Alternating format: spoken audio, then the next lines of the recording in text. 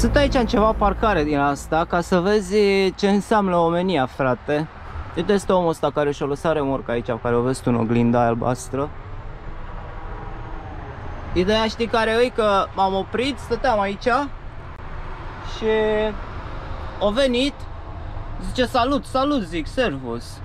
Un, uh, nu, camionul pe matriculat în Germania, probabil că lucrează în Germania. Și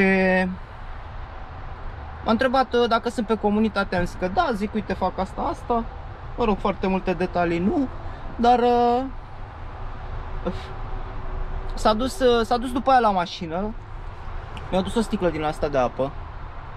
N-are importanță ce îți dă cineva, important este gestul, frate.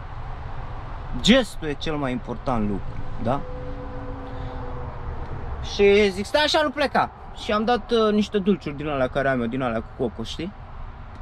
Zice, nu, că nu trebuie, că nu știu ce zi, lasă, pune acolo, dacă nu le mănânci tu, le dai la altul. da, mi-a plăcut foarte mult gestul lui. Uite, asta înseamnă să fii om, din punctul meu de vedere, da? Nu contează ce. Dacă tu dăruiești din sufletul tău, din inima ta, frate, ceva, nu contează ce, repet, da? Acel, tu în primul rând te simți foarte bine că ai dat ceva. Iar persoana respect, eu m-am simțit foarte... Deci, bă, cum adică mă vine unul în parcare și ce, ce faci pe aici? Zic, mănânc semințe, ce trebuie să fac? Mă rog, în ghilimele, știi? Ia o sticlă cu apă. Și atât. De ce? Pentru că suntem români și suntem colegi în primul rând. Ăsta e cel mai important lucru, frate. Super. Să-ți dea Dumnezeu sănătate, nene.